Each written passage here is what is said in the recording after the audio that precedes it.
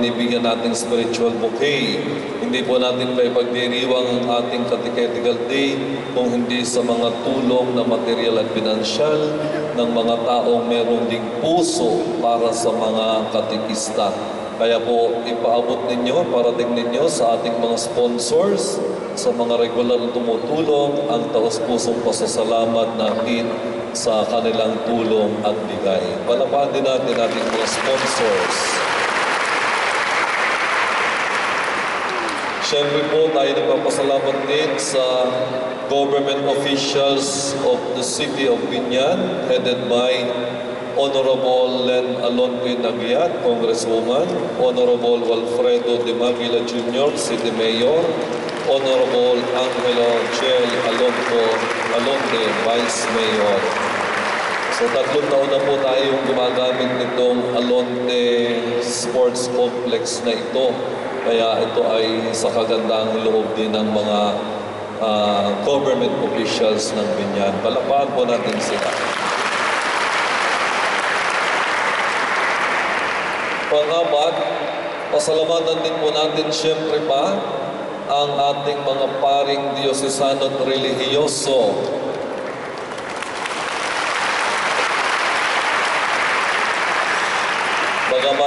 Hindi po karamihan ngayong taong ito, alam naman ninyong dinaraos ngayon ang Soltare, ang ah, sports fest ng mga pari sa Baler.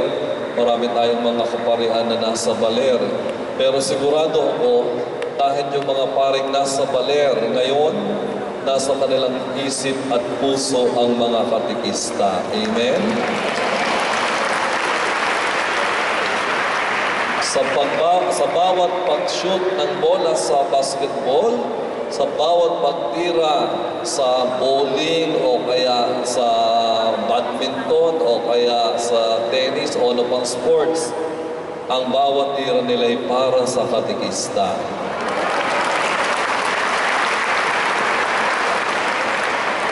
Ang hindi ko lamang alam ay kung sila ay nanalo. Baka tumira para sa katikista ay galit sa katikista, ayun, talo tuloy.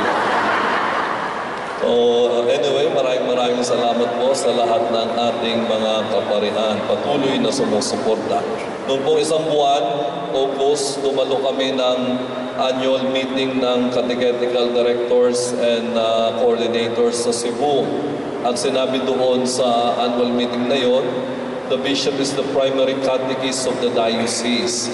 If the bishop is the primary catechist of the diocese, the parish priest is the primary catechist in the parish. No?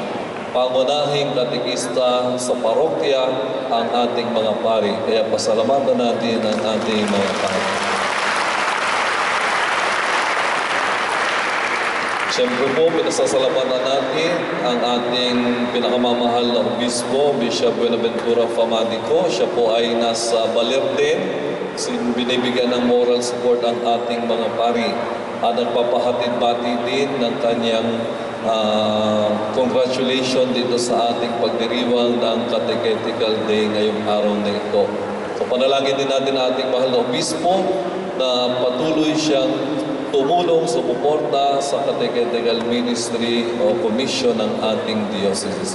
Palakpan natin si Bishop Ben Camargo.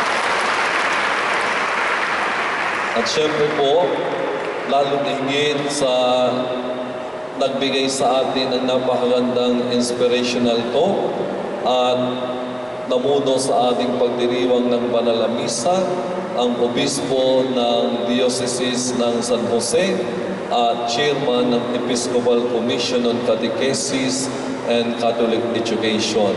So, Bishop, tanggapin po niyo ang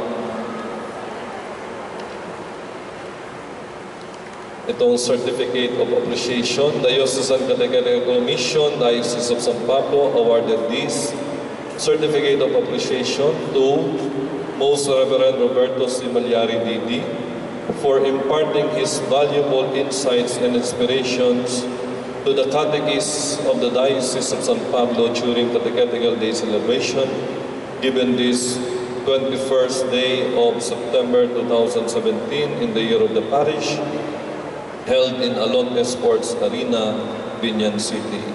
Signed, yours truly, Reverend Father George Salami Coronado, DCC Director, and Most Reverend Buenaventura and Tomatico Didi, Bishop of San Pablo.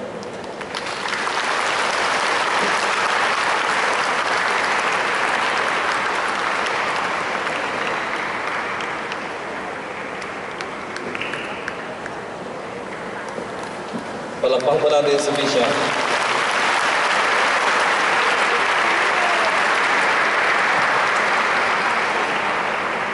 Ah, pagkatapos po ng ating ah, lunch break, huwag muna kayong aalis dahil napakahalaga ang mangyayari pamamayang hapon. Ngayon, sinabi ko na sa inyo kanina pero sasabihin ko ulit sa harap ng mga pare. Pinagdiriwang ng diocese ang Golden Jubilee this year. Our diocese was established 1967, kaya ngayon 2017, Golden Year ng diocese. At sinabi ko sa inyo, sa panahon ni Bishop Bantige, pagpasok niya bilang obispo ng diocese, after one year, 1968, ang kauna-unahan, kung hindi ako nagkakamali, ang kauna-unahang itinatag niyang ministry sa diocese ng San Pablo ay ang catechetical ministry.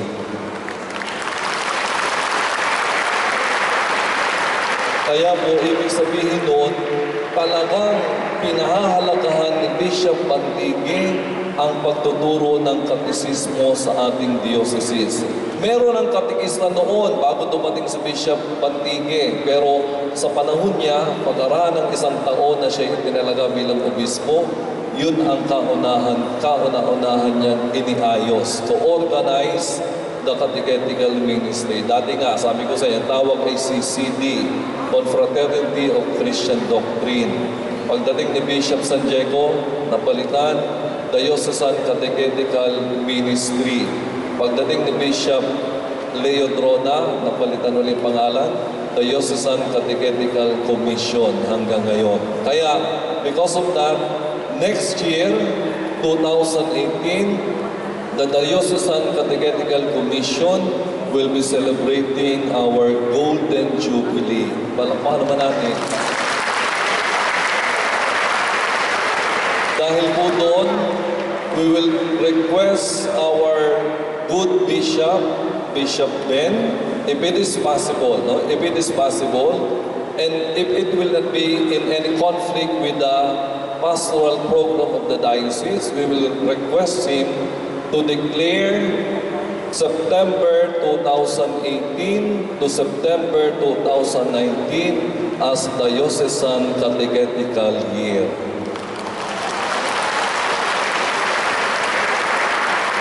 So panalangin po natin na hindi magka-problema at mawalang conflict para ang susunod na taon nating pagdiriwang ay may deklara sa buong diocese bilang catechetical year to give emphasis not only on the importance of catechesis but also in the importance of catechists of each one of you serving in our diocese. So muli po ay maraming maraming salamat sa inyong support. Salamat. Nalimutan ko pala, mamaya, ah, kaya po mahalaga yung after lunch, ipe-present sa inyo, video presentation, the history, the history of the catechetical ministry in the diocese.